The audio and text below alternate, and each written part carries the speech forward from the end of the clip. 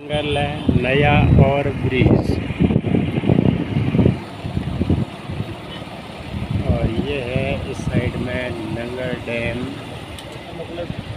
ये नंगल डैम का नज़ारा है। बहुत बढ़िया। पानी देखिए, पूरे पूरे गेटों में पानी चल रहा है।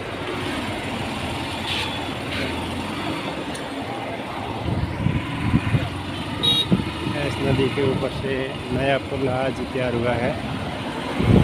ओवर ब्रिज है। ये नंगल डैम है और इसके पीछे लगभग 10 किलोमीटर आगे भाखड़ा डैम है। जो की पहाड़ी है वो भाखड़ा डैम की है और